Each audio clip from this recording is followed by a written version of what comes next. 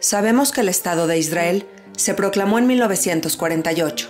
Sin embargo, desde muchos años antes, ya se había formado una gran comunidad judía, viva y activa.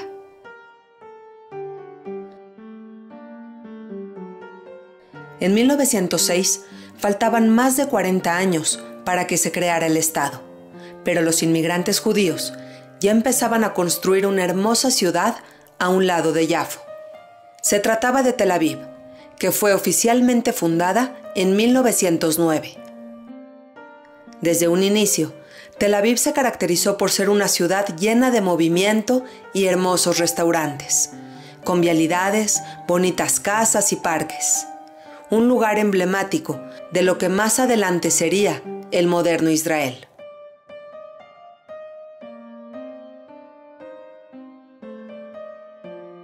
En la década de los 20, Palestina era una colonia británica.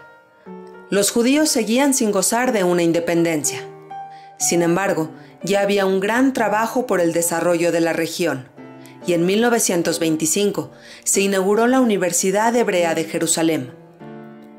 Pocos años atrás, había sido el mismísimo Albert Einstein, el personaje que había puesto la piedra fundacional.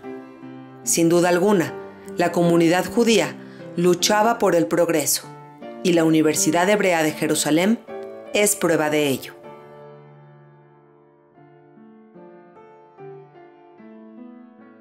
En esta misma década de los 20 se llevó a cabo la Cuarta Liá, es decir, la cuarta inmigración de judíos a Palestina.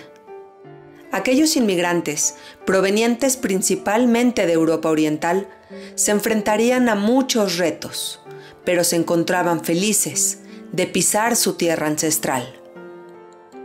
Sin duda alguna, eran años de un arduo trabajo. Todos los judíos inmigrantes, procedentes de distintas partes del mundo, tenían que enfrentarse a diferentes desafíos. La situación económica se caracterizaba por estar llena de carencias. El calor era casi insoportable. La tierra era árida y hacía falta lo más vital, agua. Sin embargo, los judíos no desistieron y continuaron con su monstruoso esfuerzo. Hicieron florecer el desierto y después de muchas décadas de trabajo, lograron ver el sueño transformado en una realidad.